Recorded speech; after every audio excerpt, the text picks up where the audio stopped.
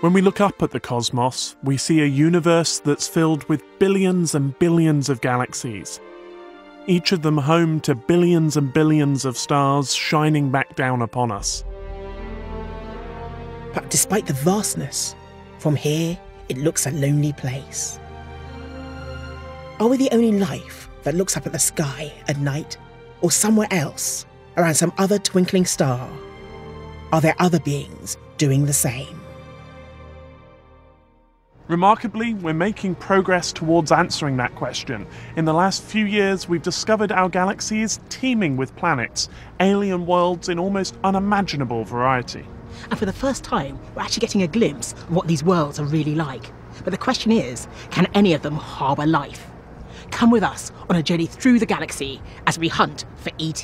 Welcome to the Sky at Night.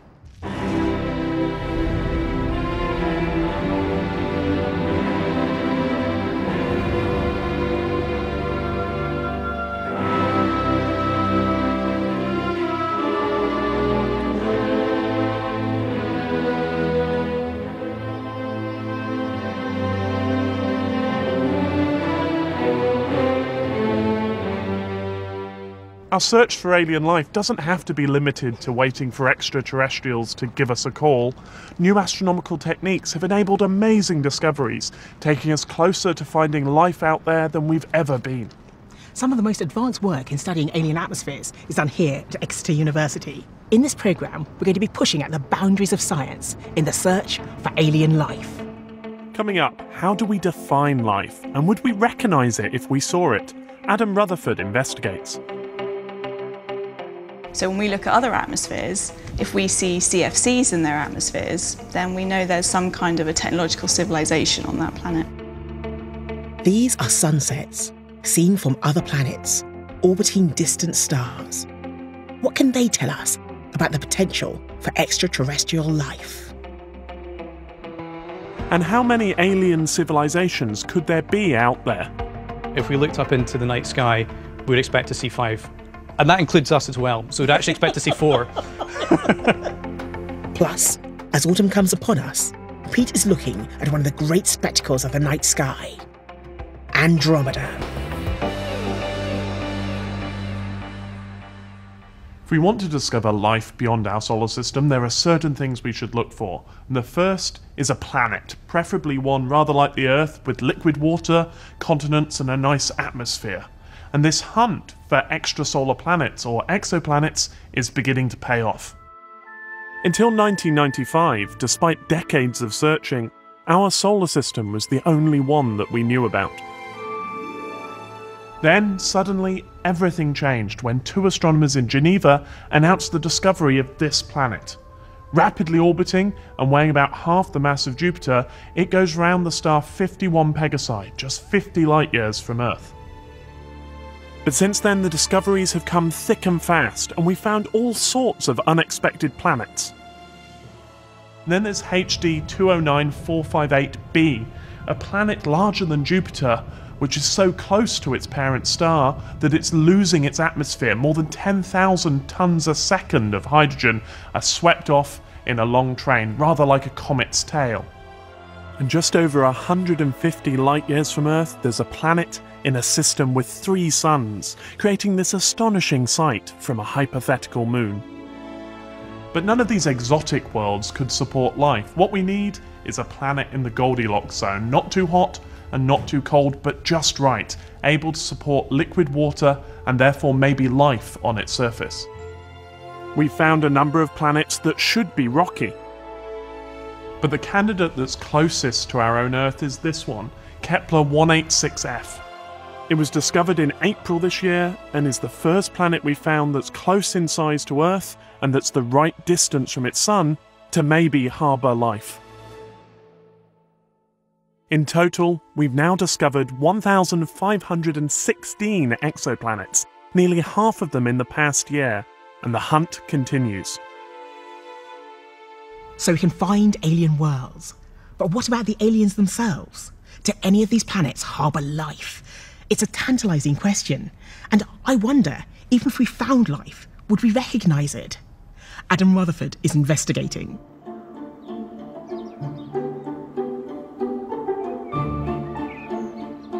Everywhere you look on our planet, there is life. And it comes in all shapes and sizes. From the tiniest bacteria to the blue whale to the fungi that spreads over hundreds of acres, there seems to be an almost endless variety to life on Earth. And this astonishing variety raises a really interesting question. How do we actually define life? This is a question we really have to answer if we want to look for life off world. We instinctively understand what life is. We know it when we see it. The tree is alive, but the clouds above are not. But codifying these differences isn't easy. What's needed are a series of testable criteria that fit all living things and exclude all non living things. One way is to look at how life behaves. There are certain behaviours that all life seems to display, such as movement, growth, respiration, and in particular, reproduction. But these characteristics might not always be exclusive to life. Take a flame, for example. It starts with a spark. And as the flame gets bigger and bigger, it consumes fuel in the form of oxygen from the air and carbon from the wick. If you blow on it, it responds and it produces waste in the form of smoke and gas. Now, these are all the types of things that we associate with living organisms. And it also does something which is a lot like reproducing. You can use one flame to create another and another and another, and so on. So the question is is a flame alive? Of course, the answer to this is no. One of the reasons is that the flame doesn't contain any information. And information seems to be a key characteristic of life. All life reproduces itself, and when it does so, it passes on information from generation to generation.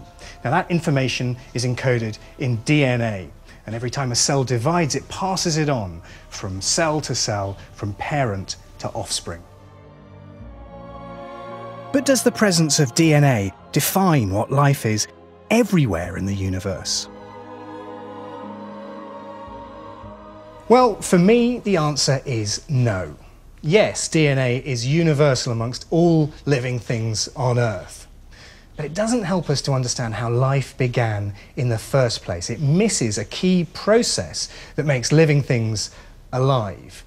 DNA replication requires energy, and when we look at how cells generate that energy, it is a more fundamental process than replication. Whilst DNA is how life replicates here on Earth, it might not be the case elsewhere. But there is a process that should be universal. Life is a chemical reaction, a process of extracting energy from the environment and using it to sustain itself. A process we call metabolism. And this is the key to defining life. You can see it in action here in the lab. In this jar is water and a plant called Egeria. Now, the plant consumes energy in the form of light and uses it in the production of glucose. Now, as a byproduct of that metabolic process, it produces oxygen. And if we look very closely, we should be able to see tiny bubbles of oxygen coming off the plant. There you go. Now, this is a process that all plants do. It's called photosynthesis. They extract energy from the environment to create something new. In this case, using light to convert carbon dioxide and water into sugars. And then the plant uses that sugar to power complex living processes. Without metabolism, there would be no energy to sustain life and no energy to reproduce. And luckily, metabolism leaves a trail of evidence behind it. In fact, the oxygen that fills our atmosphere was created by life. So, forget about radio signals from ET. If we really want to find signs of life, we should be looking at the atmospheres of exoplanets. And it is possible to do this by analysing light that passes through the atmospheres of distant planets to reveal what they're made of. To understand what signs we should look out for, I'm meeting Louisa Preston. If we were to look at the Earth from space, would we be able to tell that there is life on Earth? Yes, we'd be able to see oxygen, be able to see methane, carbon dioxide. We also can look at the Earth whilst we're standing on it. The sunlight hits the atmosphere of the Earth and it gets reflected away, and it hits the moon, and then actually the moon reflects it back to us. So we can observe ourselves. It's called Earthshine. So we look at the moon and we can we can tell that there's life on it. yes. How do we then transfer that into looking for life in exoplanets, in other planets? Well, because we know that the atmosphere can harbour these different types of molecules that life creates, we can look for exactly the same thing when we look at exoplanets. But we just have to figure out what the exact right molecules are. So oxygen is definitely a biosignature that we would look for on another planet. Problem is, it can be made from non-biological ways. Same with methane. So we have to be careful of these false positives, we call them. So is it that we're looking for a particular combination of those gases in the atmosphere, so the right amount of methane, the right amount of oxygen? Sure, it's not the right amount exactly. So it's more a disequilibrium idea. So there could be a bit of oxygen, there could be a bit of methane. We want to see an excessive amount because oxygen and methane are very short lived. They can degrade very quickly, react with other products, react with each other. But if there's life, it will keep pumping it into the atmosphere, so you'll see more of it than you would expect. And the best thing is to find them together. Now, these are, these are signatures of simple life. What about us? What should we be looking for if we were looking for intelligent life? Sadly, we'd be looking for pollutants. So we all hear about CFCs and the hole in the ozone layer. They are really long-lived and they also cannot be created naturally. They are created by us and by intelligent life. So when we look at other atmospheres, if we see CFCs in their atmospheres, then we know there's some kind of a technological civilization on that planet. Just CFCs? I mean, wouldn't that just indicate that people are using deodorants on those planets? if we see just CFCs, it might indicate that there was once an advanced civilization there that's created it. What would be amazing to find would actually to be find oxygen as well as CFCs, because that means actually there might be a civilization there right now. That is using deodorants and fridges and hairspray. Yes. well, good luck with the hunt. Thank you.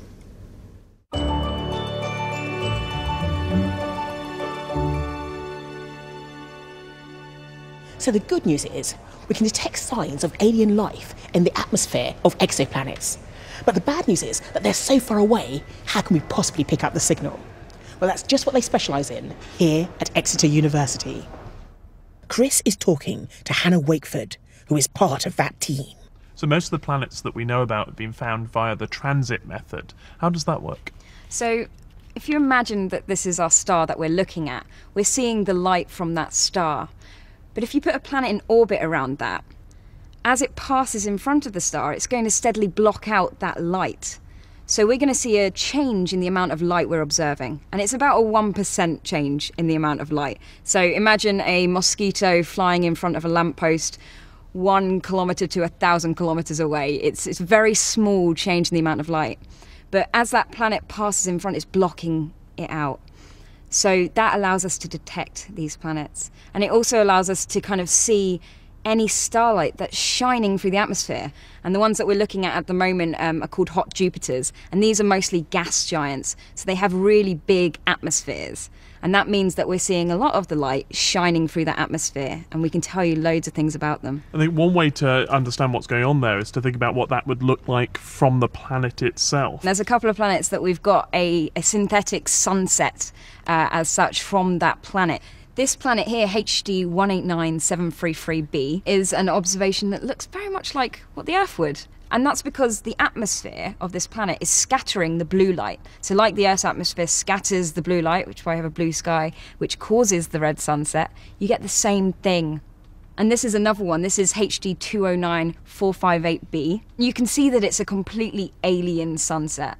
And that's because there's sodium in the atmosphere of this planet. We've detected sodium in the atmosphere by the amount of light it blocks out at a certain wavelength. It's not just sodium that we're trying to detect, we're also trying to detect potassium and water in the atmospheres of these planets. What about the weather on these planets? We talk about Jupiter and you think of the bands and the clouds and the, the storms that are going on. Do we know anything about these planets and whether they have similar weather?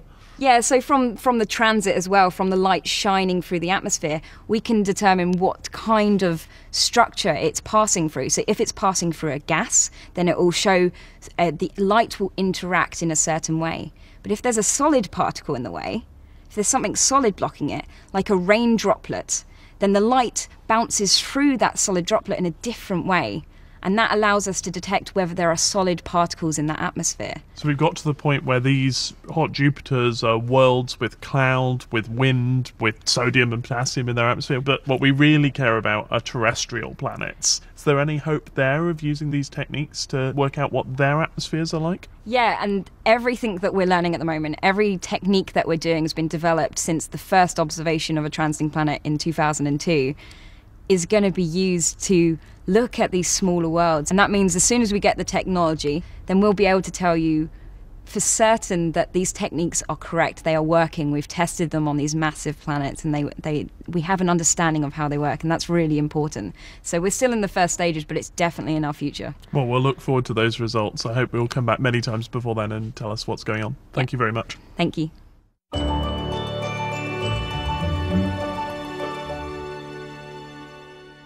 The reason there's been such a boom in exoplanet detection in the last few years has mainly been down to one mission the Kepler Space Telescope. It alone has detected 978 new planets so far. Launched in 2009, it has been searching a star rich patch of sky. But in May 2013, the spacecraft broke down. Two of its reaction wheels had failed these are the gyroscopes that are used to orientate the spacecraft. Without them, it couldn't remain locked on its target. But in the last few months, the mission has received a new lease of life due to some ingenious lateral thinking. The team worked out that they could use the force exerted by sunlight hitting the spacecraft to stabilize it. Light exerts a pressure on any object it falls on. As photons hit a surface, they transfer some of their momentum to it. It's a tiny force, but in the frictionless, near vacuum of space, it has an effect. The Kepler scientists are using this to their advantage. Now, it just so happens that the spacecraft is symmetrical from one angle. Now, if the remaining reaction wheels can keep the spacecraft at that angle, then the solar pressure hitting the panels will keep it in balance. But for it to work, they have to be extremely accurate. The slightest misalignment will cause the spacecraft to spin rather than stabilizing it. But early tests look promising, and Kepler is once again looking for alien worlds.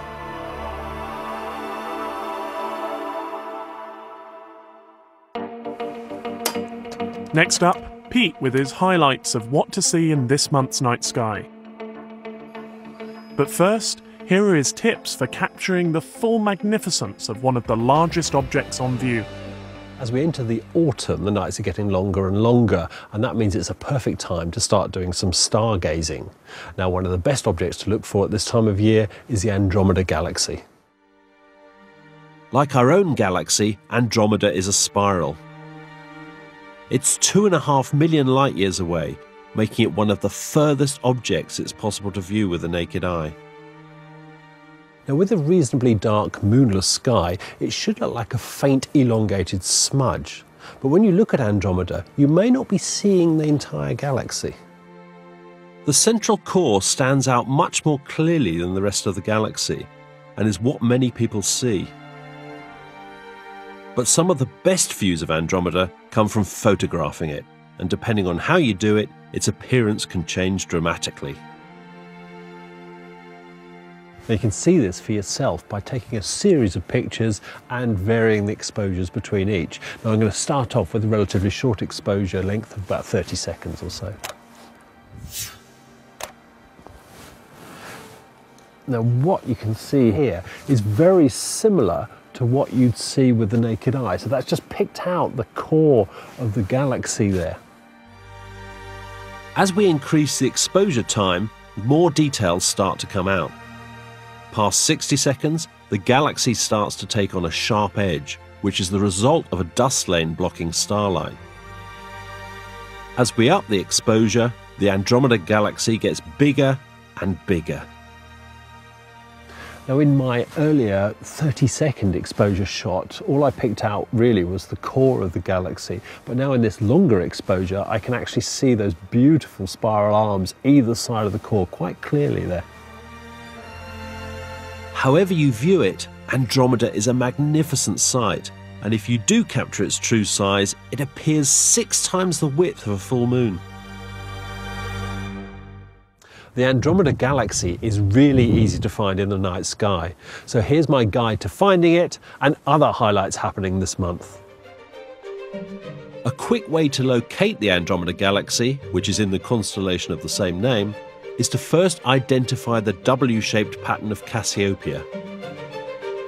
The right half of the W is like an arrow pointing down towards the star Mirach in the constellation of Andromeda.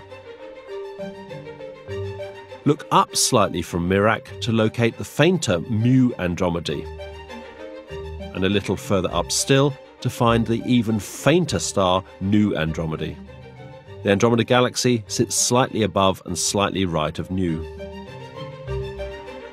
Also, this month, just before sunrise on the 20th, you'll be greeted by the magnificent sight of Jupiter next to a thin, waning crescent moon in the eastern part of the sky. Finally, on the 28th, look low down in the southwest about an hour after sunset to see planet Mars close to the similar brightness star Antares in Scorpius.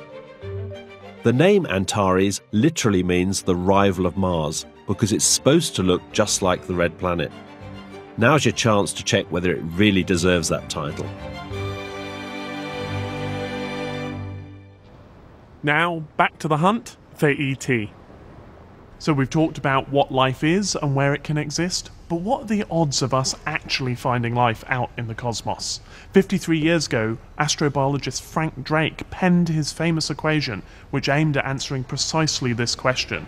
But we know much more about the universe now than we did then, and Maggie's been catching up with astrobiologist and alien hunter Duncan Forgan to find out how far we've got. The Drake equation is made up of a series of conditions that need to be met for us to communicate with alien life. Each letter represents one of these factors, such as how many stars have planets orbiting them, or how many of these planets support life. Duncan is going to help me fill in these figures based on the latest research. When we start populating this, how does that work? Well, it gets a bit tricky to populate. I mean, when we start on the left hand side, we're actually in the bits that we know quite well.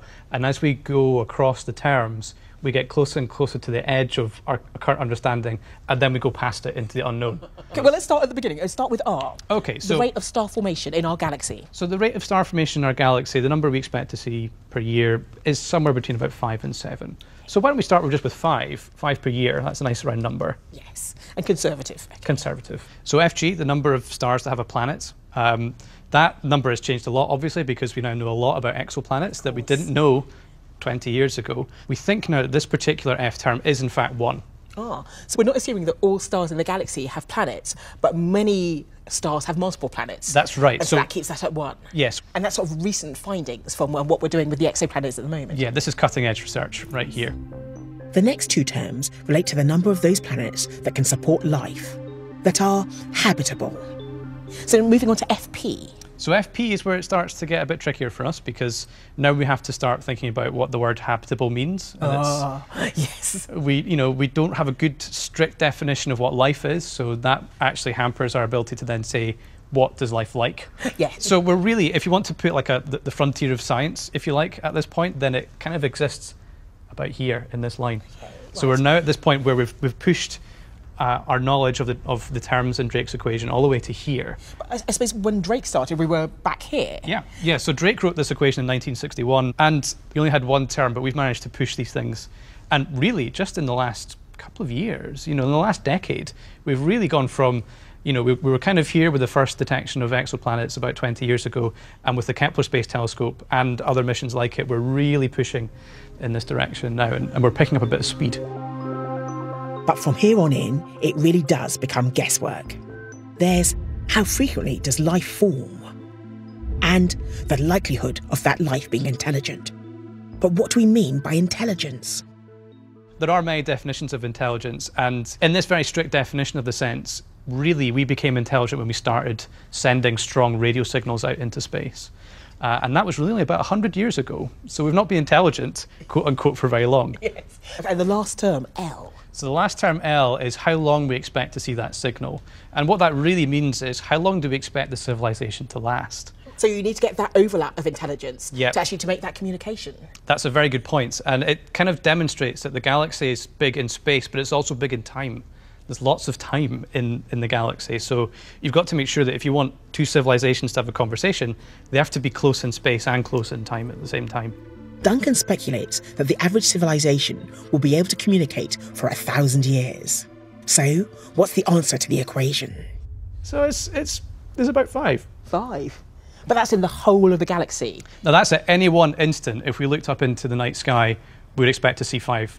And that includes us as well. So we'd actually expect to see four. I think that fundamentally it's a question we really want to answer, and it's something that people have always wanted to answer. And I think for me, that's the beauty of this equation is that in some way it kind of encapsulates all of mankind's search to understand itself as well as understanding its place in the universe. Yes. So you start with the terms that, that are to do with astronomy and to do with physics and chemistry, and then you get onto the planetary sciences and the geology, mm. and then you have the biology, and then as you get to the very end, then you have to start thinking about the things that aren't the hard sciences, but the, the social sciences. You have to think about the psychology of life. You have to think about anthropology. The whole academic discipline uh, of mankind is somehow encapsulated in these these eight letters. But I've never seen it in that way, so thank you very much. Ah, it's a, a new perspective on the Drake equation. Thank you.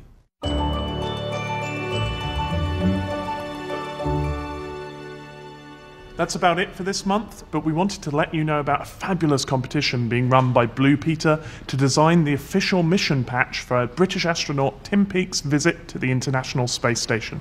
You need to be between the ages of 6 to 15 to enter.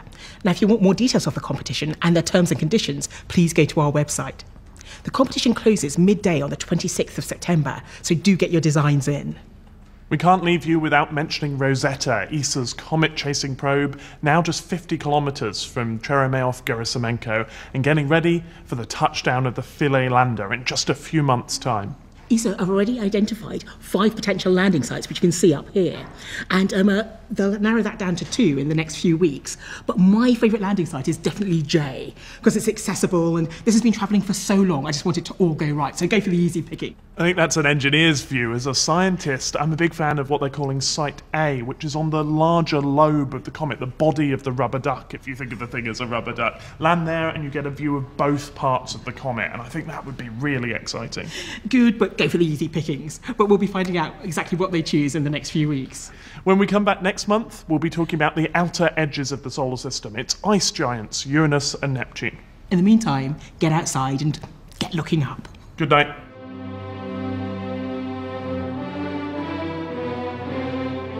Keep those eyes to the skies next tonight and settle in for a comet's tale here on BBC4 Next. And then rock turns to metal in Heavy Metal Britannia. Catch up with this week's Music Night programmes in an hour.